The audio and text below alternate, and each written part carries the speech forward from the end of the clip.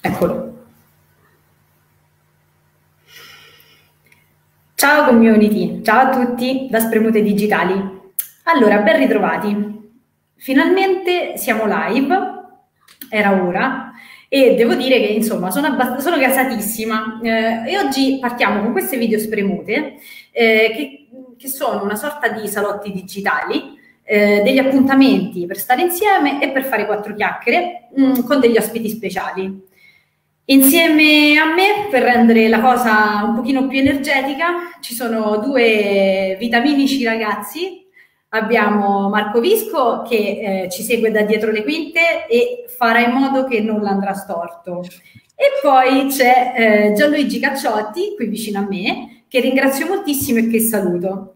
E, insomma, Gianluigi, eh, ci siamo? Sei pronto?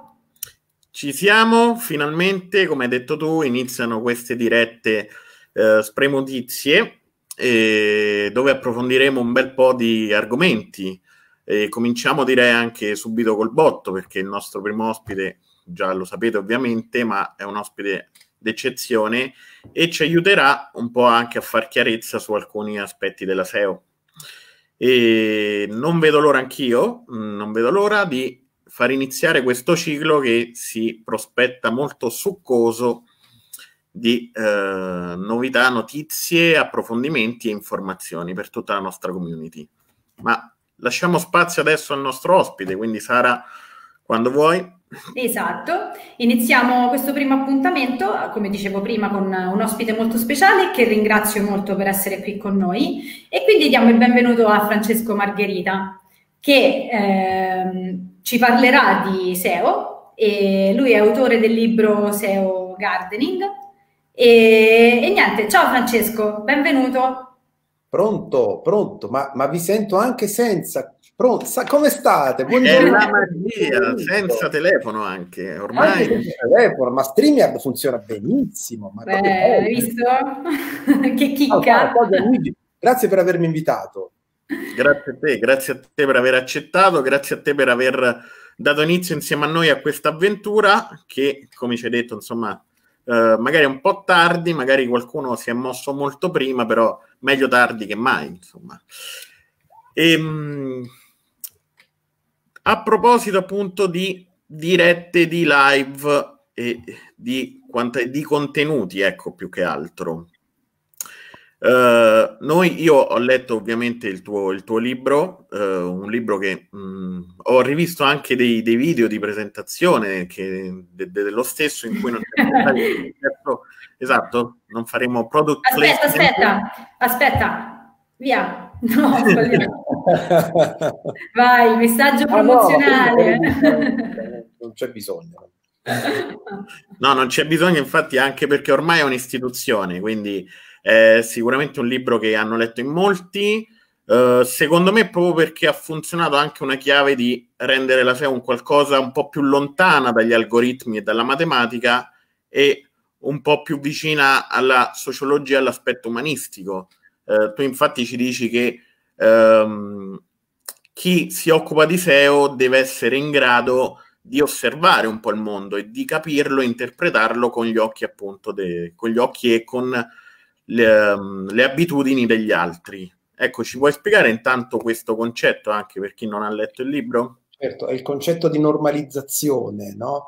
Eh, noi siamo tutti in, in, in, lotta perenne, fin da quando siamo poco più che bambini, con il nostro ego. Soltanto poche creature su questa terra e in certe incarnazioni, diciamo, sono riuscite a venirne a capo. Tra questi ricordiamo il Buddha, Gesù Cristo e eh, Malgioglio, ovviamente. Cristiano Malgioglio. Sono personaggi che sono riusciti, diciamo, a, eh, a osservare il mondo non con i propri occhi. Noi commettiamo tutti l'errore fondamentale di attribuzione eh, che è quello tipico dello scienziato ingenuo. È una roba che si studia in sociologia, in effetti. Eh, siamo portati a pensare che le cose siano ehm, esattamente come le vediamo noi. Il problema è che noi a questo mondo siamo soltanto dei filtrini, poco più. Eh? Eh, questo siamo noi, cioè filtriamo ciò che i nostri sensi percepiscono attraverso la lente della nostra sensibilità personale, privata, personalissima.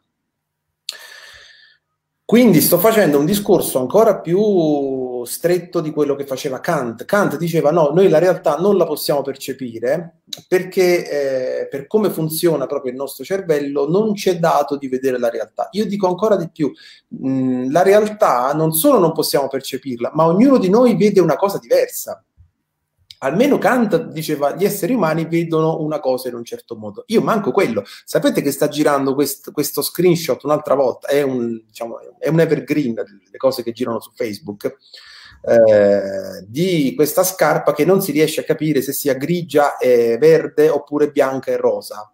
Sì. E se tu usi l'emisfero destro è in un certo modo, se usi l'emisfero sinistro in un altro, alcuni la vedono a volte verde acqua e a volte rosa, e quelli sono i bipolari fondamentalmente.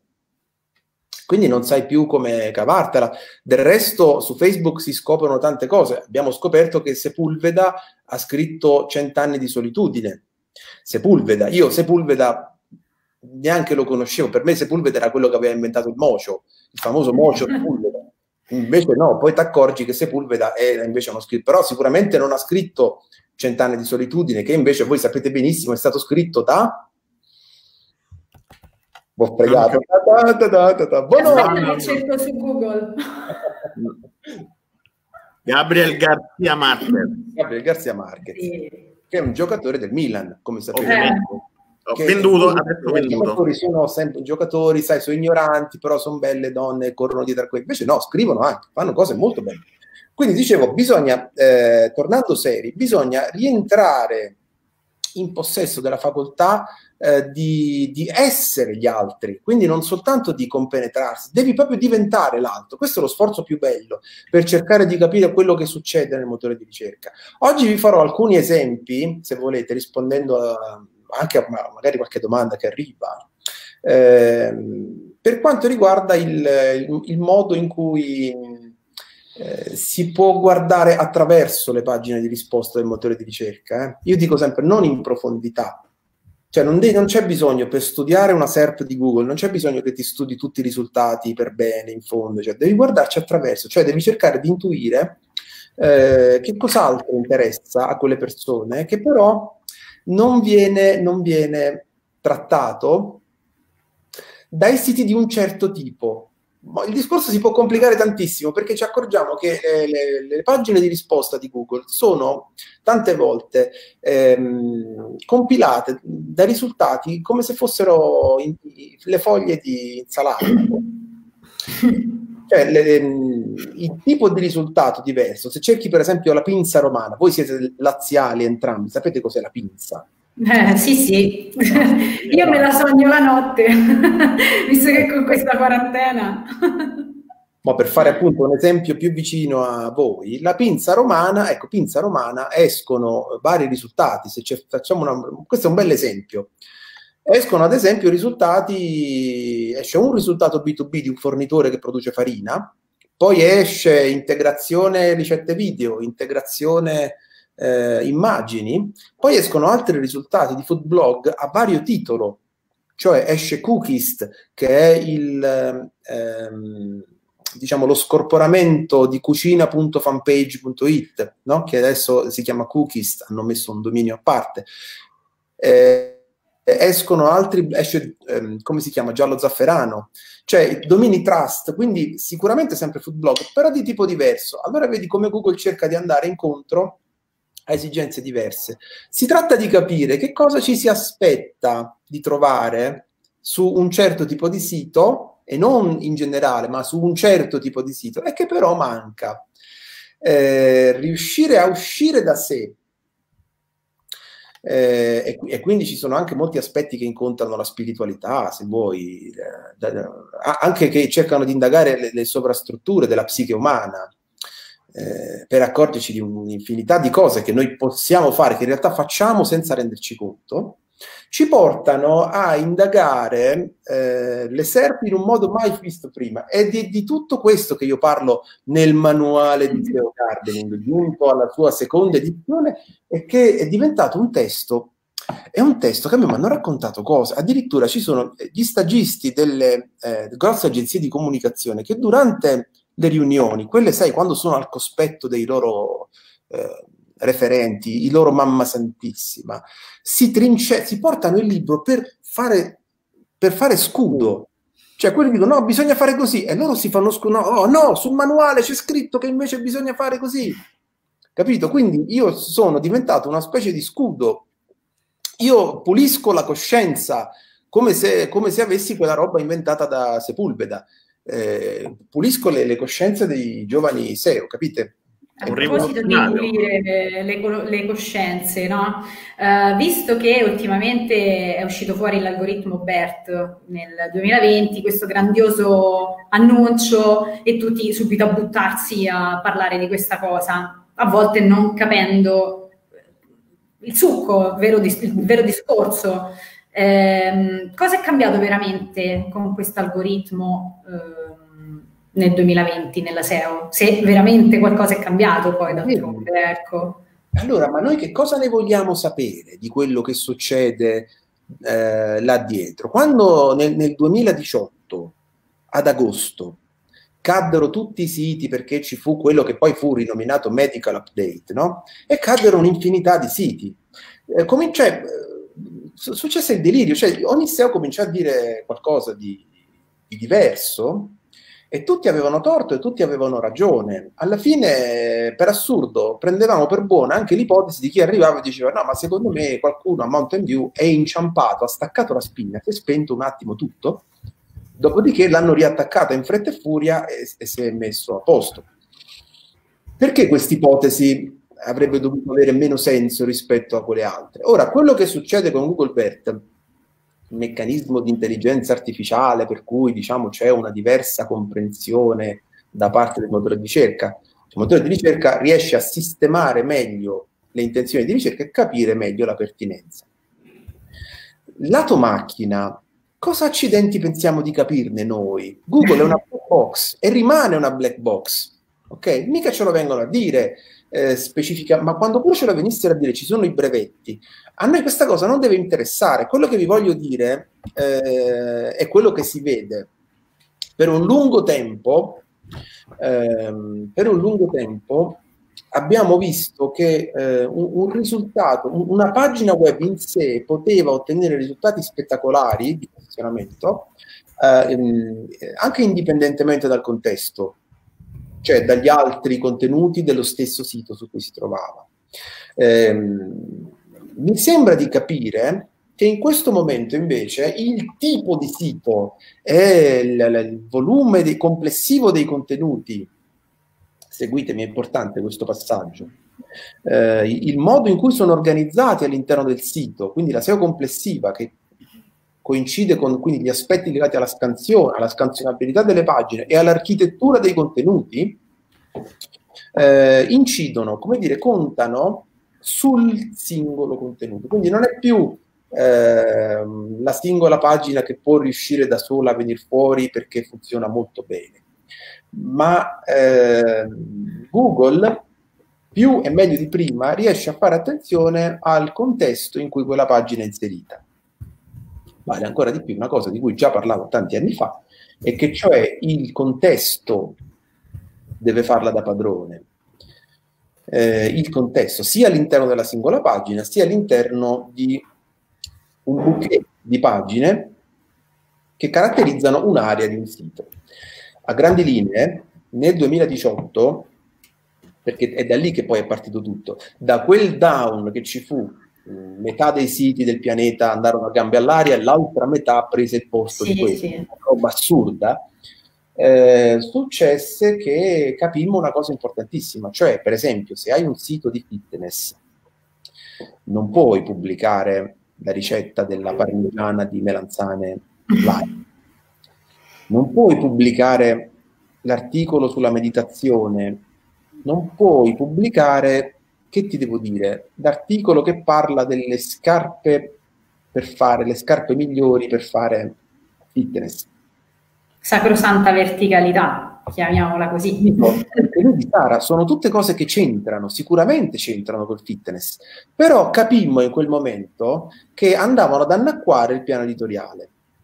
Mm? Se hai un sito di fitness, porca paletta, devi parlare degli esercizi. Questo, cioè devi far vedere gli esercizi e basta. Eh, quindi il contesto di significazione si è molto stretto Google è diventato molto più bravo, e anche in questo c'entra Bert, a capire quali argomenti tratta nello specifico e quali no. Non basta più dire è un sito che parla di salute e benessere. Che vuol dire salute e benessere? Devi dirmi esattamente di cosa parla quel sito e me lo devi dimostrare. Perché il mio blog SEO Garden, perché non si posiziona più per tante chiacchiere, consulente SEO? Sono in ottomillesima pagina per consulente SEO. Perché non si posiziona più? Una volta eh, ero sempre primo, ero primo, ero primo, consulente SEO, tutti mi chiamavano, non prendevo nessuno perché quando sei primo per consulente SEO ti chiamano quelli che vogliono pagare 200 euro, tutto. Quindi per fortuna sono sceso, non, adesso mi chiamano solo quelli che mi conoscono, per fortuna. Però eh, perché sono sceso? Perché se poi sul mio blog trovi una immonda quantità di pagine che parlano degli affaracci miei. Ok? Cioè, ehm, a un certo punto sì, ci sono un sacco di articoli sulla SEO, ma ci sono anche una montagna di contenuti che parlano della mia visione del mondo, parlano del, no, del, del, della mia gatta morta. Io, eh, anche dei miei amici morti, è, è, un sito pieno di necrologi, il manuale di. Ogni volta che moriva un amico io facevo l'articolo che, perché lo sentivo di fare, però non c'entrava un, niente con la SEO e quindi il mio, il mio piano editoriale mano a mano s'annacquava, s'annacquava, s'annacquava finché l'ho visto proprio sulla mia pelle e a un certo punto diciamo, ma tu sei molto meno... Per, per esempio, Laura Venturini, io l'ho, l'ho, inter- l'ho, avuta in una diretta, Laura Venturini. Sì, grande Laura. Laura L'abbiamo anche intervistata su Spremute. Cioè, io Laura, ma tu perché sei posizionata così bene per consulente? Come ti per, perché sei Come ti permetti? Salutiamo Laura a proposito, Ciao, se Laura. ci sta seguendo. Ciao Laura. Ciao Laura. lei ci disse una cosa eh, interessantissima, assolutamente allineata con questo che vi sto dicendo adesso. Cioè, guardate, è quello, il mio sito è molto asciutto. È molto asciutto. Cioè, eh, pochi contenuti che parlano tutti quanti. Allora vedi il contesto, lo vedi, li vedi i contorni i siti si posizionano, devono avere una buona SEO, quindi devono essere eh, facilmente scansionabili, non devono avere 20.000 righe di codice per pagina, mh? Mm? magari una marcatura semantica discreta, dopodiché è tutta una questione di focus sugli argomenti. Si posizionano. Eh? I grossi CMS fanno una confusione di pazzi, quindi alla fine si generano un sacco di codici ridondante, pagine in più, indipendentemente da quello che scriviamo. Eh? Quindi praticamente mi vuoi dire più o meno che anche se si utilizzano degli strumenti per trovare quelle che sono delle parole chiave delle query di ricerca che possono essere utili a quello che è un blog, però a volte questi vanno a cozzare con quella che può essere la semantica e la domanda latente. La domanda latente. Queste due parole sono utilizzate a sbafo da delle persone che parlano, parlano, parlano, ma poi magari non sono proprio consapevoli di quello che stanno dicendo. La questione della domanda latente, la domanda latente è un concetto economico. Eh, chiaramente io quando nel manuale di SEO Gardening e nei, nel mio blog parlo di domanda latente, mi riferisco a, ehm, a una riedizione del concetto, cioè io non, non, sto parlando di economia quando parlo di domanda latente, ma parlo di una domanda non espressa, ancorché molto presente. Eh, se, se voi, guarda, io partirei con un esempio proprio per farmi capire. Mm? Vado? Vai, vai, vai, ben accetti. Voi sapete che eh, il, eh, per gli Mac user sapete che esiste un computer che si chiama MacBook Air. Il MacBook Air da 13 pollici monta di base il processore i5.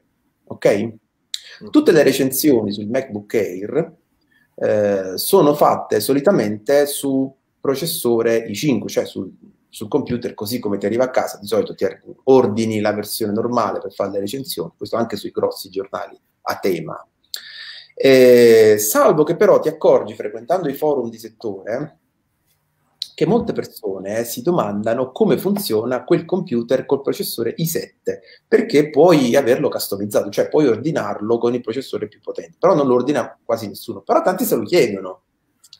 Hai capito la domanda latente? Allora, laddove, e parliamo di MacBook, eh, eh, di MacBook Air, che è una roba che ogni volta che esce un modello nuovo viene recensito in tutte le salse, non lo trovi un argomento che non sia già trattato da altri. Lo schermo come si vede, la tastiera com'è, i tasti, su alti, su bassi, eh, il volume, le casse, come le hanno fatte questa volta le casse? Cioè non lo trovo, cioè, i, i, principali blog tech che parlano eh, di questo argomento.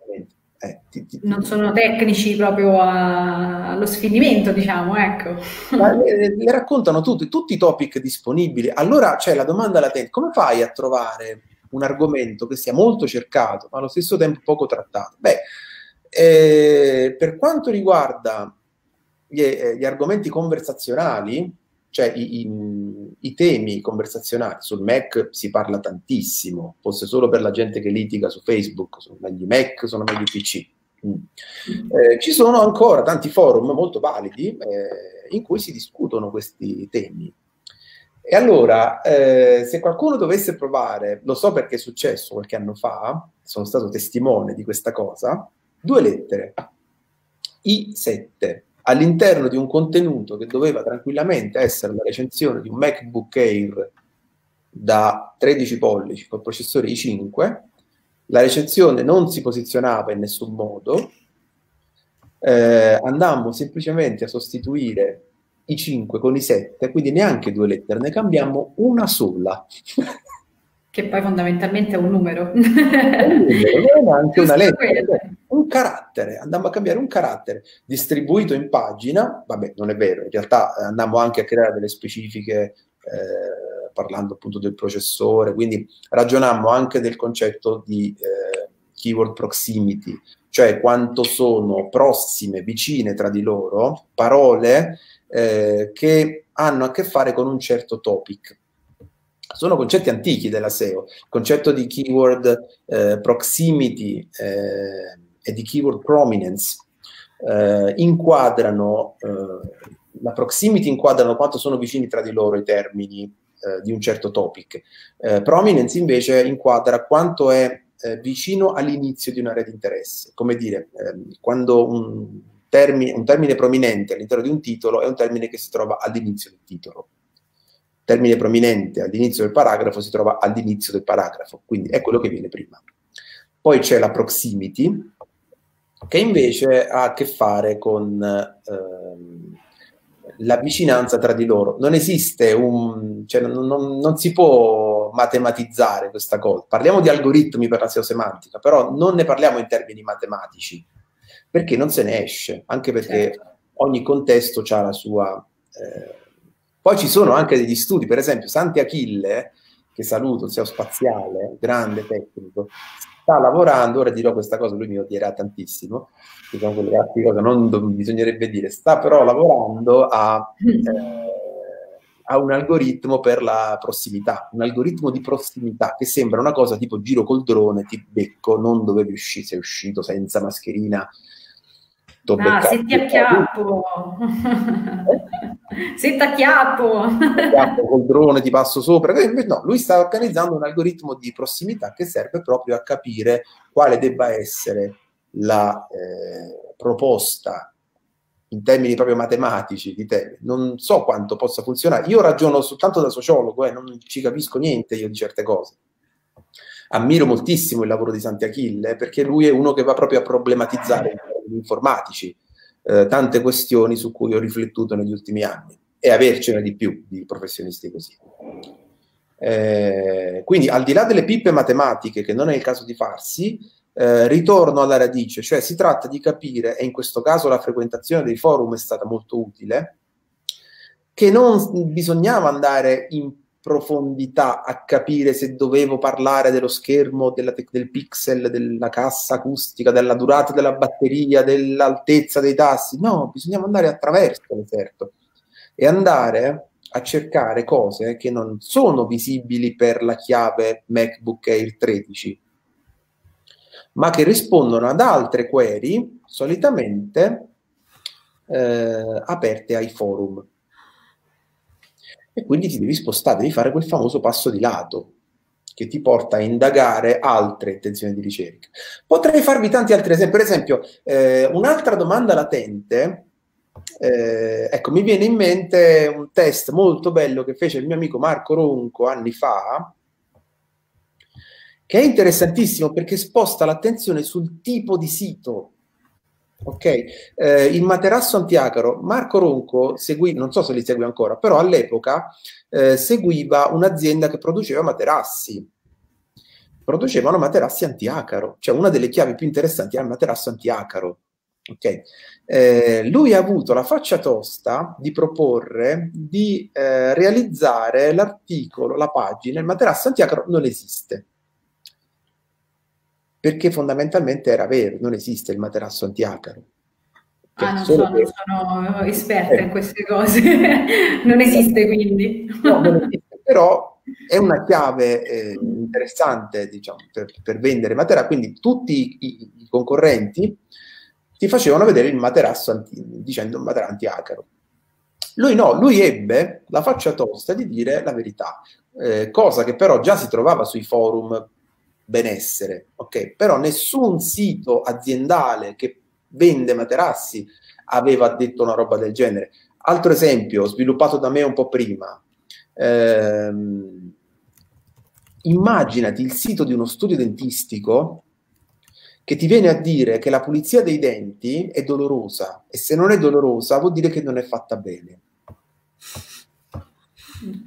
Okay? Cioè, queste sono tutte cose che trovi è forte questo, perché eh, se vai su qualunque studio dentistico, eh, quando si parla di pulizia dei denti, dovesse mh, mm, capitare in mezzo la questione, ma fa male, è dolorosa, ti dicono sempre no, non ti preoccupare, non succede niente, al massimo mh, mm, senti una leggera pressione dell'ablatore, ma non ti preoccupare, è proprio niente, niente, niente. Bugiardi, niente. bugiardi. Bugiardi, bugiardissimi. In realtà eh, nei forum, se vai su al femminile, se vai su, anche sui forum generici, eh, senza dover andare sui forum di salute, è molto frequente la discussione e molti dicono proprio questa cosa. Quindi la questione è il tipo di sito, perché un conto è uno studio dentistico, un conto è un forum. Un conto è uno studio dentistico che ti dice la pulizia dei denti è dolorosa e se non è dolorosa non è fatta bene. Un conto se lo dice un forum. I forum questa cosa la dicono già, gli studi dentistici no. Allora capisci che eh, il discorso è molto complesso, perché non complicato, è complesso, perché non si tratta di individuare il topic giusto, si tratta di individuare il topic giusto per il sito giusto. Certo. Io voglio, siccome sono masochista dentro, voglio aggiungere mm. ancora un po' di complessità. Mm alla, alla questione. Oltre a tutto questo discorso, appunto, di spostarsi un po' di lato per saper leggere meglio, mm. um, nel libro si, si, nomina anche una teoria che, insomma, affonda le radici non, non, proprio nel 2020, 2015, 2018, insomma, non è proprio recentissima, però ci dà una spiegazione anche di, di, di come ragioniamo, come non ragioniamo e mi riferisco alla teoria degli effetti non intenzionali perversi, cioè quindi la discrasia che c'è, mh, lo scarto tra ciò che intendiamo fare e ciò che poi realmente facciamo, anche proprio nella nostra attività online. E, e, quindi volevo anche capire come affrontare poi anche questa difficoltà poi di interpretazione del mondo che ci circonda. Eh beh, gli effetti non intenzionali perversi sono una teoria di un altro famosissimo sociologo che si chiama Robert Merton, sociologo del passato, che però è stato autore di un sacco di teorie interessantissime. E dire che io mi sono iscritto a sociologia per caso, eh, io a quell'epoca veramente mm, cioè, passavo di lì, come dire, scherzavo. Poi mi sono trovato, però questa è un'altra storia. Eh, la questione degli effetti non intenzionali perversi riguarda il fatto che tutti quanti in questo periodo eh, dicono, ma sai che c'è, adesso io vado al supermercato per evitare la fila, vado a luna, proprio a ora di pranzo, vado a luna, supermercato che è aperto a orario continuato, io vado a luna così sono sicuro che non trovo nessuno. Se però fanno tutti quanti questo pensiero, arrivi a luna e trovi una fila chilometrica. Come le partenze intelligenti di no. sì. eh, siccome le partenze è proprio quello, Robert Merton, eh, all'epoca di Robert Merton non è che ci stavano tutte queste macchine, però qualcosa sì, non come oggi. Eh, tradotto eh, in termini SEO, il grosso problema è proprio di natura ecologica, cioè di ecologia della keyword research, cioè se tutti quanti fanno keyword research allo stesso modo, cioè individuando le chiavi a corrispondenza di frase, eh, maschera per il viso, devo posizionarmi per maschera per... Allora faccio un articolo che si chiama maschera per il viso col cetriolo, uno che si chiama maschera per il viso eh, con le fettine di limone, maschera per il viso così, maschera per il viso. Qua Dentro ci metto sempre gli stessi topic che escono dagli strumenti. Il risultato è che stai dando Google in pasto a se stesso, stai ehm, contribuendo ad aumentare il rumore di fondo sulle SERP, pubblicando articoli che non sono spazzatura, per carità, però fondamentalmente sono tutti uguali. Trattano certo. tutti quanti le stesse cose. Eh, è anche un po' colpa nostra, perché negli ultimi dieci anni abbiamo insegnato, negli ultimi 15 anni in realtà, abbiamo insegnato a fare keyword research in questo modo. è anche colpa nostra, però io mi sono ravveduto, cioè io qualche anno che vado in giro a dire non fate più keyword research come ve ne abbiamo parlato prima, fino ad oggi, cercate di avere uno sguardo più fresco, cercate di avere uno sguardo ecologico, finalmente ecologico della keyword research, cioè smettetela di ragionare in profondità aprendo le chiavi a corrispondenza di frase, le chiavi correlate, addirittura, vedete, c'è, c'è anche un software che si chiama keyword shitter, eh, che anch'io utilizzo molto spesso perché mi piace questa defecazione di parole chiave. è il cagatore automatico di parole chiave. È un tu, cercatelo su Google, è, divert- è, gratuito peraltro. Sì, sì, ma io lo conosco benissimo perché mi ci diverto un, bo- un, mondo a volte a leggerle tutte. Ci vuole mezza giornata per leggerle tutte, eh, però è molto divertente perché ci sono delle assonanze allucinanti. Il keyword sheeter, il primo, eh, aveva un problema, nel senso che quando cominciava, eh, cioè lui, lo, lo, tu lo lanciavi e poi a un certo punto dovevi dovevi stopparlo, perché se non lo stoppavi, lui andava avanti all'infinito finché non si apriva un buco nero gigantesco che potenzialmente poteva inghiottire l'intero sistema solare. Non è bello, non è bello. E poi prova tu a trovarti dentro al, proprio in una situazione del genere, non aiuta. Hanno fatto una seconda versione dello shitter, che è il Keyword Shitter 2, che pure si trova su Google, che è molto più ordinato. A un certo punto si ferma e quindi diciamo evita situazioni catastrofiche.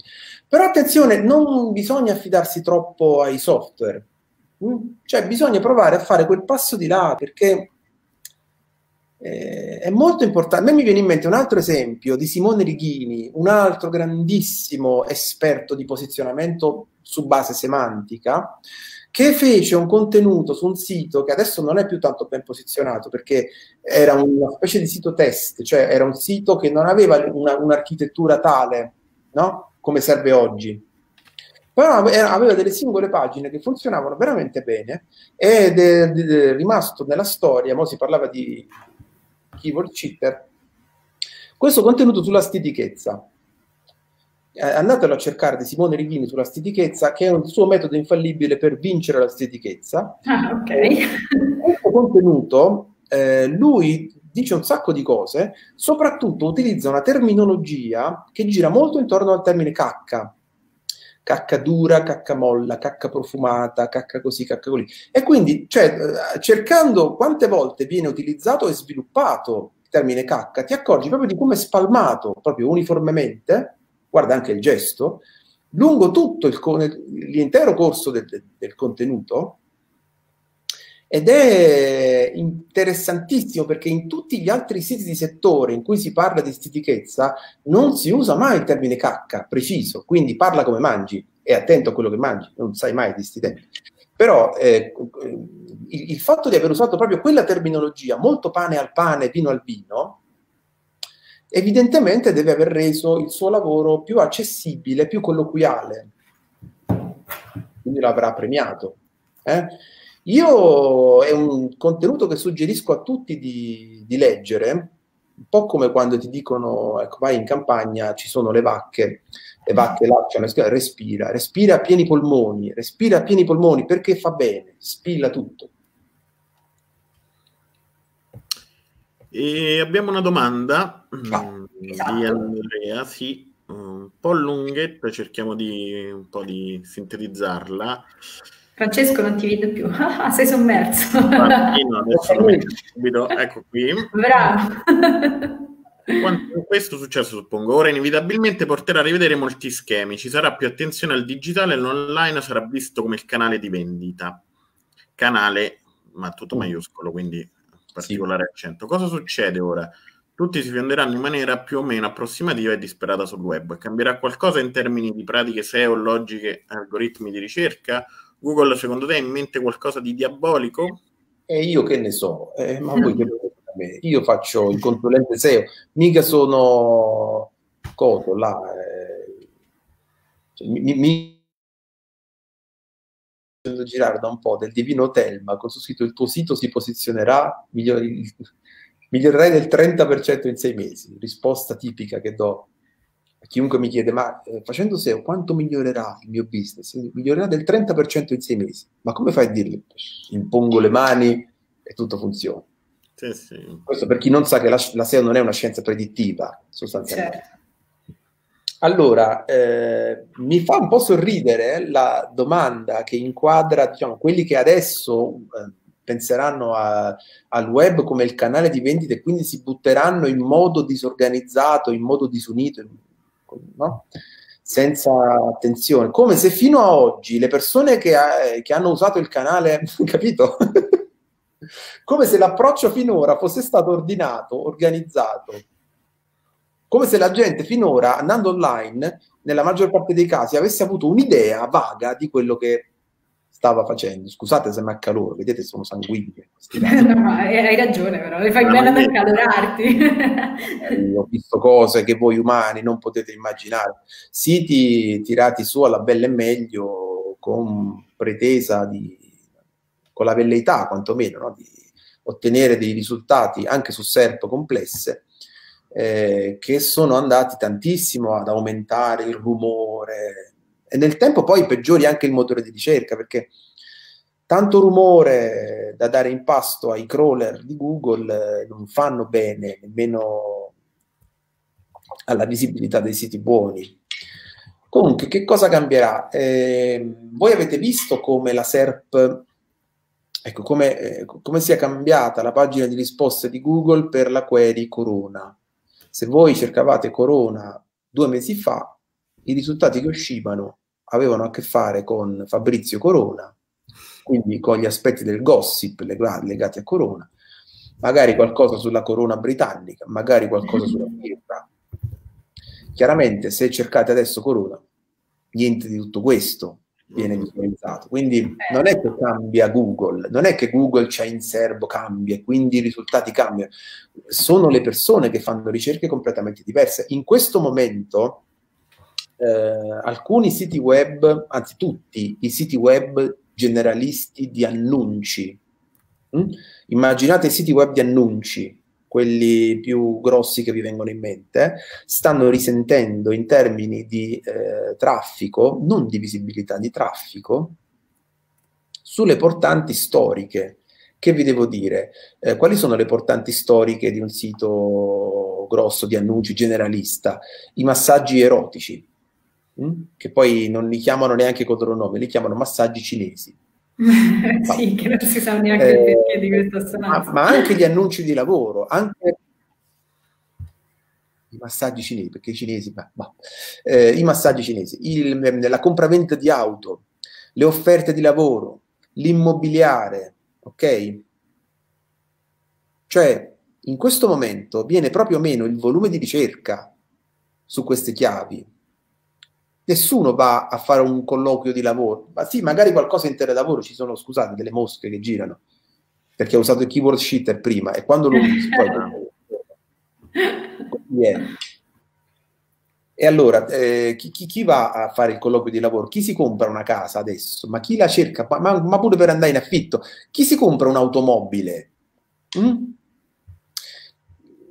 Capite che eh, questo è un momento in cui bisogna, avendo lo sguardo sufficientemente fresco, prima della diretta, peraltro ne parlavamo, individuare gli ambiti di visibilità, i corsi di inglese online, le lezioni di chitarra online, quante cose, quanti professionisti possono eh, deviare il loro lavoro sull'online. Di là delle grosse convention che molto probabilmente verranno spostate sul digita- su canali digitali. Certo. Eh, sì, gli psicologi, gli avvocati. I... Questa è una cosa saggia che le persone potrebbero iniziare a fare. Sì, invece di magari lamentarsi. Eh, adesso non facciamo più niente. No, si poteva fare prima e a maggior ragione si deve fare adesso. I nutrizionisti, dice, beh, ma i nutrizionisti per legge eh, non possono fare visite su Skype. Nutrizionista si deve vedere. Eh, ho capito, però eh, non lo sai, guarda che eh, con questi chiari di luna alcuni aspetti legislativi potrebbero cambiare. Eh, non dico che sono cambiati, però eh, se non possiamo più uscire di casa, se ci dobbiamo incontrare con la mascherina, potrebbero cambiare degli aspetti, il legislatore potrebbe decidere di cambiare qualcosa e di favorire questo tipo di attività. Quindi sé che cosa possiamo fare? Sicuramente eh, in questo momento, eh, avendo tempo a disposizione, lo dico ai gestori di e-commerce, è arrivato il momento di prendere le 20-30 schede prodotto del vostro e-commerce, di aprirle e di migliorarle. Perché dico sta cosa? Perché lo dico avvicinandomi, ecco, ti guardo negli occhi. Un imprenditore che ci hai rotto l'anima nelle dirette del venerdì dei fatti di SEO, che ci hai fatto analizzare il tuo sito, e noi che ti abbiamo detto le schede prodotto sono deboli, hanno poco testo, quel poco testo che hanno l'hai copiato da, dal produttore, è sempre lo stesso testo che tutti gli altri siti e-commerce usano. E quando ti ho detto fai questo lavoro, tu mi hai detto, ma io ho 80.000 prodotti sul sito e io ti ho detto prendi i primi 20-30 per traffico e lavora su quelli e tu mi hai detto non ho tempo.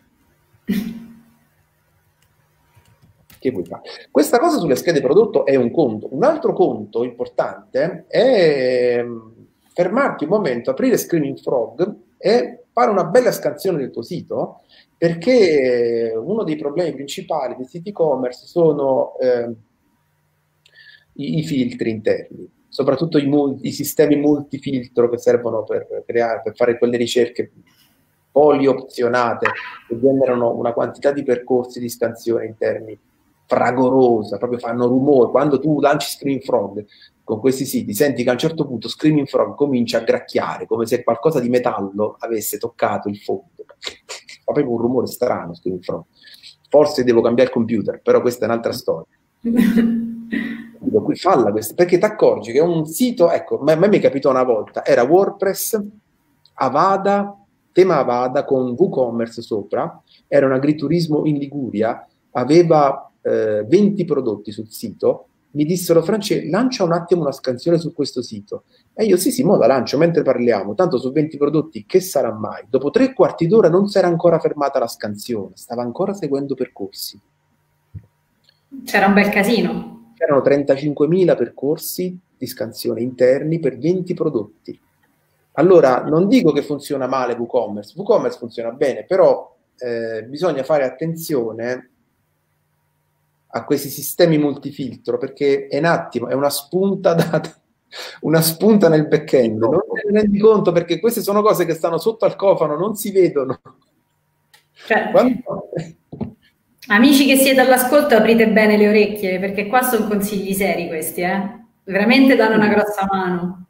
Eh, vanno viste queste cose perché non ci possiamo immaginare che fai, sì, fai il materasso Santiago non esiste, proprio si può... cioè tutte le belle cose che dico e che si trovano nel libro che ho scritto, nel libro verde, hanno senso se c'è una buona SEO di base, La SEO, non ce lo scordiamo, si fa ancora come vent'anni fa. Eh?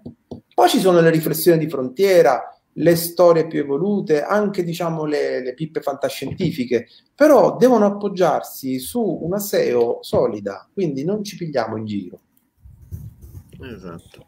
E una domanda proprio su questo, un altro settore, cambiamo un po' il settore, però rimaniamo sempre anche nel, un po' nell'e-commerce. Uh, ce la fa Raffaele, ma un sito che si occupa di viaggi ha un elenco di hotel B&B che hanno la descrizione uguale ad altri siti di viaggi, come si deve comportare? Come le schede di un e-commerce? Allora, solitamente Google cerca di... Google si rende conto quando un contenuto, qui parlo per gli e-commerce, ma vale per tutti i casi in cui uno stesso contenuto viene listato su più magari portali eh, tematici. Eh, quando Google percepisce che c'è sempre lo stesso testo, non lo penalizza. Questo, ripeto, vale per gli e-commerce e per tutti. Per quanto riguarda gli e-commerce, la scheda prodotto con la descrizione sempre uguale perché è quella fornita dal produttore, non è penalizzante, semplicemente viene ignorata. Eh? Quindi dico la stessa cosa a questa persona che ha fatto questa domanda, eh, se è uguale non devi, penal- non devi temere una penalizzazione, piuttosto è come se non ci fosse quel testo. L'indifferenza più che altro. L'indifferenza più totale, perché è lo stesso testo che si trova altrove, Google se ne rende conto e lascia perdere. Ok. Capisco. E Francesco, allora, visto che eh, già da mm, chi ci segue come Andrea comunque ha fatto una domanda sul periodo attuale, eh, te ne chiedo un'altra io. E, mm, quali sono quattro consigli che vuoi dare a chi ci sta seguendo e ascoltando eh, sulla SEO in relazione proprio a questo periodo di emergenza che stiamo affrontando? Allora, due penso di averli già dati. Eh, cioè l'idea di prenderti il tempo che serve per migliorare quello che eh, fino ad oggi non hai avuto il tempo di migliorare. E ripeto, in caso in cui le pagine siano proprio tante, parti, moto, parti da Analytics, mh? Hm? capisci quali sono le pagine già più visitate e lavora su quelle a partire da qui. Secondo aspetto, abbiamo detto, quello tecnico. Mm-hmm. Poi tu me ne hai chieste proprio quattro. Vabbè. Sì, eh, se vuoi anche di più, insomma, se pensi che sia, certo. che sia, opportuno. No, no, è che vedi, piuttosto, eh, ecco, una, una, cosa che potrei provare a dire in questo caso, messi a posto gli aspetti tecnici, cioè assunto che la scansione del sito è buona e non basta neanche questo, per esempio, è un'altra cosa che potremmo dire guarda un po', fai attenzione al motore di ricerca interno del tuo sito, perché molto spesso io vedo generarsi delle pagine dal motore di ricerca interno che non si sa come, non si sa perché Google comincia a indicizzare. E se non le indicizza le segue, comunque le scansiona. Cioè sono percorsi che magari non si trovano neanche sul sito, quindi bisogna fare molta attenzione al modo in cui funziona il motore di ricerca interno. Quindi, va analizzato caso per caso. Eh, che cosa posso dire di più? Chiaramente, eh, io, cioè, mi risulta difficile dare suggerimenti generici perché eh, la SEO è una cosa che io faccio con gli strumenti aperti guardando il singolo progetto.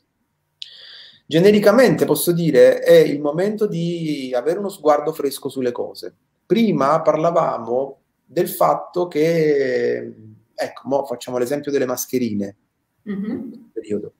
Eh, ci sono già adesso, mentre parliamo, persone che stanno trasformando il proprio e-commerce, eh, che magari vendeva accessori anche generici, stanno cominciando a farsi domande su eh, produttori di mascherine che si sono già messi in moto per creare delle personalizzazioni Prima, ecco, prima ancora di andare online, io vi raccontavo la storia del supermercato, cioè il fatto che io sto andando al supermercato, incontro persone che mi vedono e si spostano un po'. Cioè, cioè c'è questo terrore, lo sapete, non ve lo devo dire io, c'è questo terrore a condividere lo stesso corridoio no? del supermercato.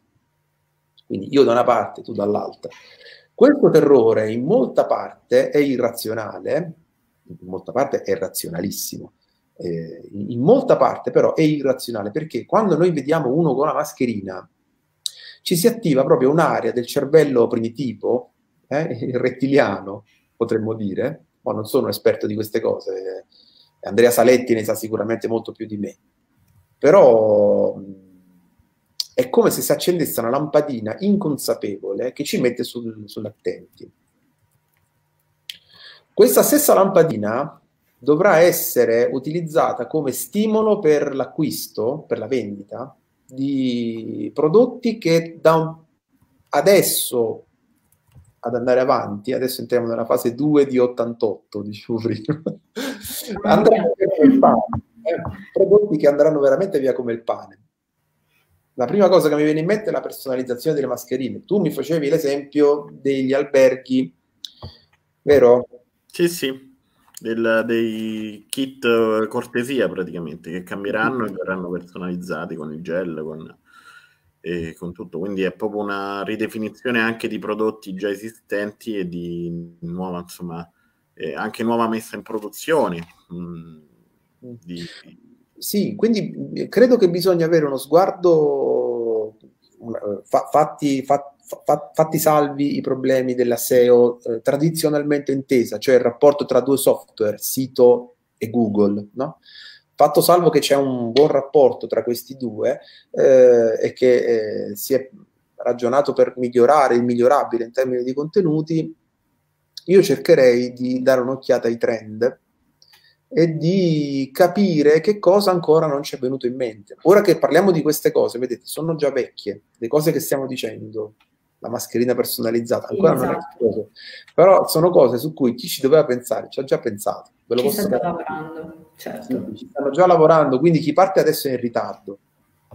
Sì, sì, il tempismo, se non sì. è tutto, è molto, insomma, soprattutto in internet.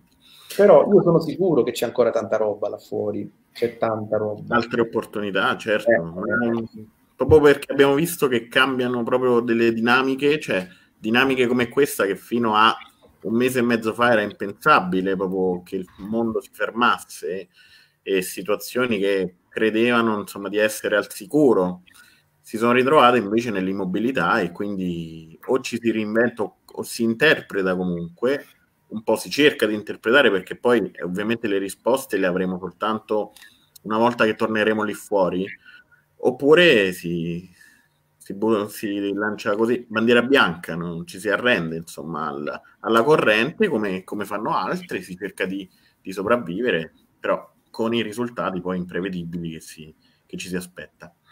Magari Una... dovremmo orientarci più verso le persone piuttosto che sulla corsa al business che ci sta praticamente fagocitando, cioè ci stiamo dimenticando di quelli che sono i bisogni reali delle persone, che forse è quello che dovrebbe essere un po' più rivisto. Ecco. Certamente, certamente. Anche il, il, fatto di lanciare questi webinar, no?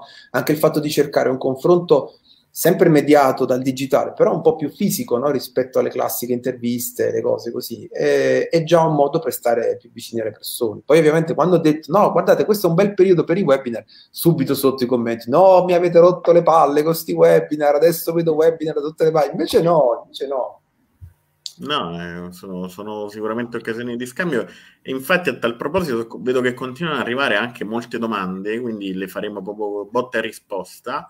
E subito con Claudio che ci chiede quali sono gli strumenti che usi, cioè quali quelli fondamentali per fare una buona SEO. Grazie.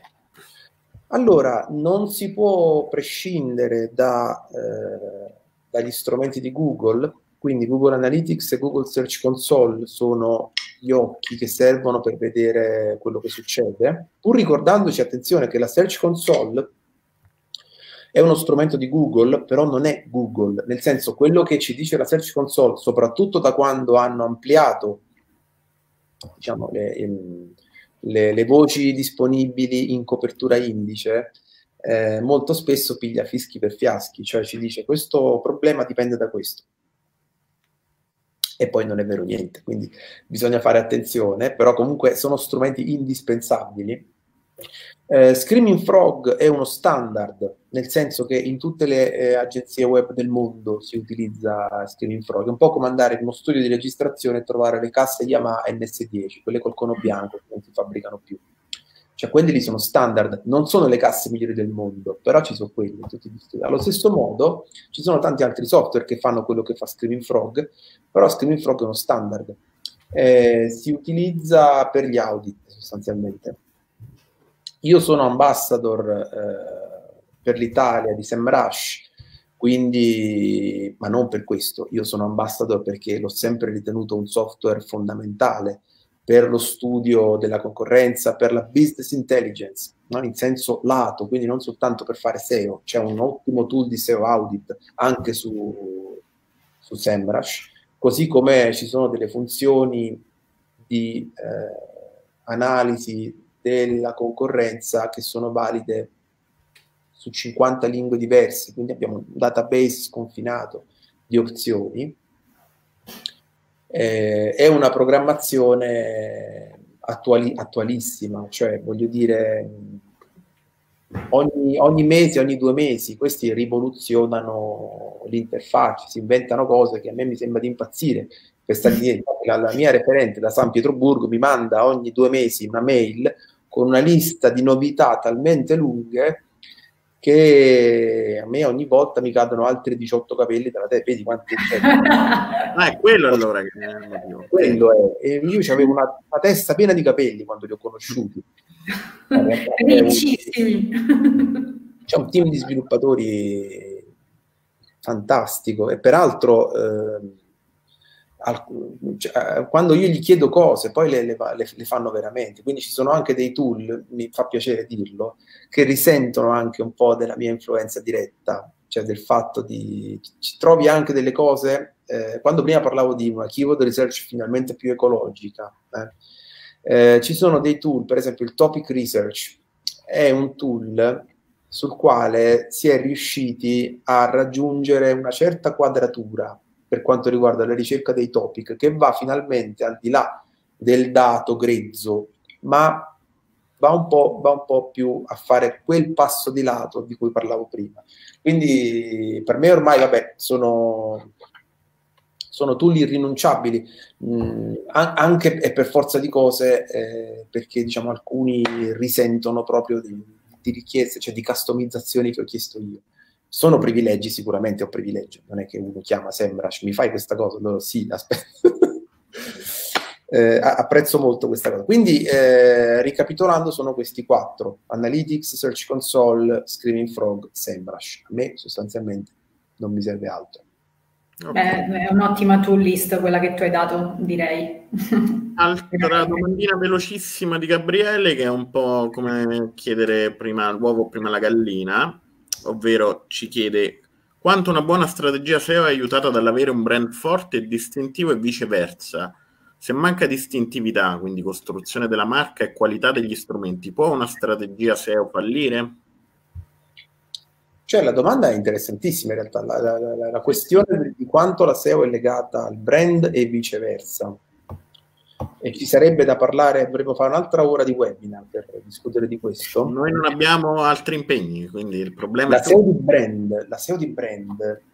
Eh, allora, in, partiamo con alcune considerazioni. Voi avete presente Marco Montemagno? Sì, sì penso tutti. Ehi amici, voi che ci seguite, ce l'avete presente?